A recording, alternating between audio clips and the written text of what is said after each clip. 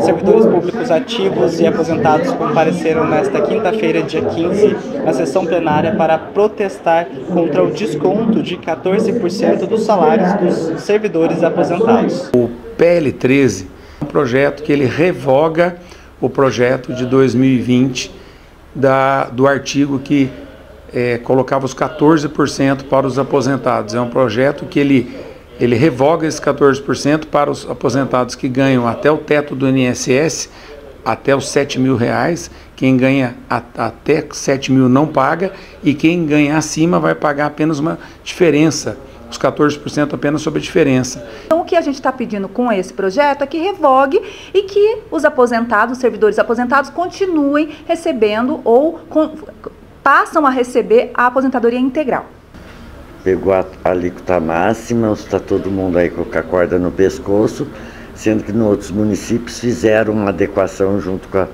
com o teto da lei do INSS, a lei federal, que poderia ter sido feita aqui, mas infelizmente o prefeito não teve nenhuma preocupação em resguardar o direito dos, dos servidores. Olha, tem muitos trabalhadores que estão hoje passando necessidade, trabalharam a vida inteira e hoje os 14% faz falta para o remédio, faz falta para é, para comida, né? Então é por isso que nós fizemos esse projeto. O servidor ele tem uma aposentadoria não pelo INSS, a gente chama de previdência própria.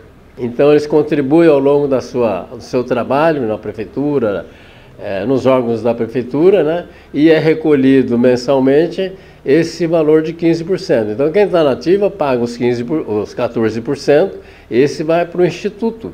Esse instituto que administra isso. É o dinheiro dele mesmo indo para ele. O servidor público que deixou essa cidade muito linda, que sempre cuidou, que é o esteio da, de, uma, de um município, está aí agora na penúria.